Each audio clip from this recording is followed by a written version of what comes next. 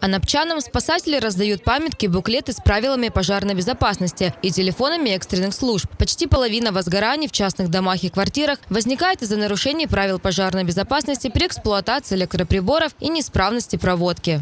Обращать внимание хотелось бы на электропроводку, чтобы не допускать перегрузок, потому что в летний период, когда большая нагрузка, случаются пожары от короткого замыкания.